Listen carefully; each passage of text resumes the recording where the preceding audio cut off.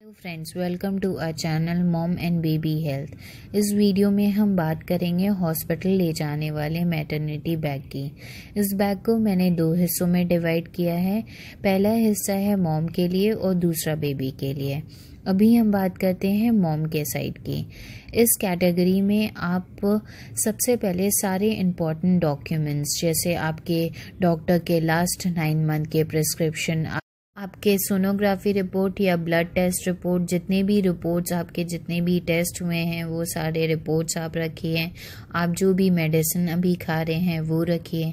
इसके अलावा आप अपना मेडिकल इंश्योरेंस कार्ड अपना आईडी प्रूफ अपना कैश क्रेडिट कार्ड वॉट जो भी आप यूज़ करना चाहते हैं, वो सारी डिटेल्स एक फ़ाइल में करके वो अपने साथ रख लीजिए। इसके अलावा आप मॉम के लिए ड्रेस रखेंगे। ड्रेस में आप कोई भी कंफर्टेबल नाइट गाउन रख सकते हैं, जो कि पहनने में इजी हो। इसके अलावा आप रखेंगे innerwear innerwear I would suggest आप थोड़ा एक्स्ट्रा रखिए, क्योंकि डिलीवरी के बाद हमारे पीरियड्स स्टार्ट हो जाते हैं और उसमें हैवी ब्लीडिंग की वजह से इनरवेयर खराब हो जाते हैं। इसके अलावा आपको सैनिटरी नैपकिन्स रखने हैं। आजकल मार्केट में आफ्टर डिलीवरी के बाद के लिए थिक सैनिटरी नैपकिन्स अवेलेबल हैं, जो कि हैवी ब्लीडिंग को प्रोटेक्ट करता है।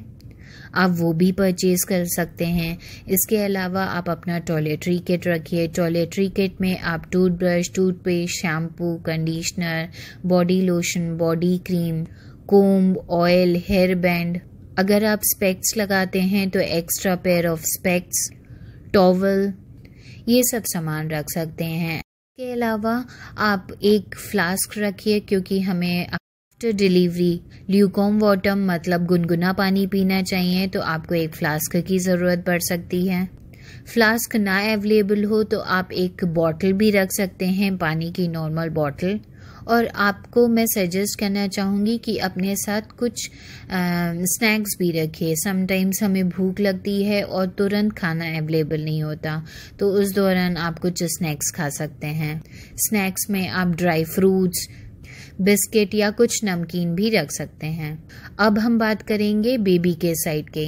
सबसे पहले बेबी के कपड़े। कोशिश करें आप बेबी के जो भी कपड़े खरीदें, उसको खरीदने के बाद अच्छे से वॉश करके डिटॉल में सोख करके, सुखा के और उसके बाद आयरन करके रखें। क्योंकि न्यू बॉर्न बेबी को इन्फेक्शन बहुत जल्दी होता है। इसलिए उनके हाइजीन के लिए एटलीस्ट सिक्स मंथ तक बच्चे को भी नया कपड़ा डायरेक्ट ना पहनाएँ, हमेशा उसको वॉश करके और आयरन करके पहनाएँ। इसके अलावा, आप अगर बेबी डायपर्स पहनाना चाहते हैं तो डायपर अन्यथा आप बेबी नैपीज भी खरीद सकते हैं बट नैपीज आप ध्यान रखिए कॉटन नैपीज खरीद दिएगा इसके अलावा baby blanket mittens socks baby towel और बेबी के लिए कुछ गर्म कपड़े, जैसे स्वेटर हो गया, टोपी, मोजे, बेबी स्वाडलर।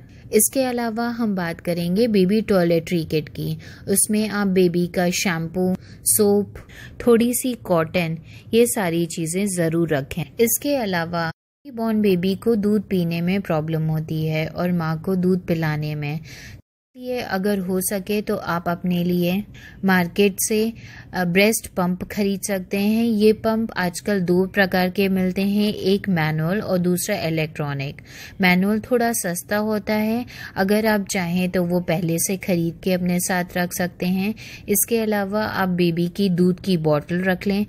कोशिश करें बॉटल को पहले से अच्छे से धो के स्टेरलाइज करके, फिर उसको अपने साथ रखें। यू फ्रेंड्स मेरा वीडियो देखने के लिए। आशा करती हूँ आपको ये हेल्पफुल होगा। अगर आपको मेरा वीडियो अच्छा लगे तो प्लीज़ मेरे चैनल को सब्सक्राइब करना ना भूलें और बेल आइकन को ज़रूर दबाएँ। Thank you once again you friends मेरा